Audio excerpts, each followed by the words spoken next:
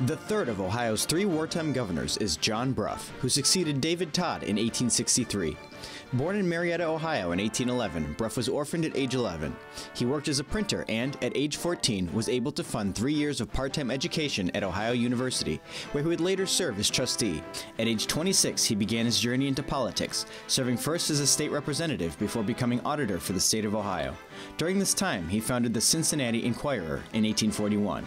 Brough sold the Cincinnati Enquirer in 1848 and moved to Cleveland, where he began working for the Bellefontaine and Indianapolis Railroad. By 1863, the reigning political factions in the state had grown displeased with the leadership of Governor David Tod. Looking for a new candidate more strongly opposed to slavery, the National Union Party in Ohio persuaded Brough to run for governor against Clement L. Vallandigham, leader of the Copperhead faction. Brough won the election and took office in January of 1864.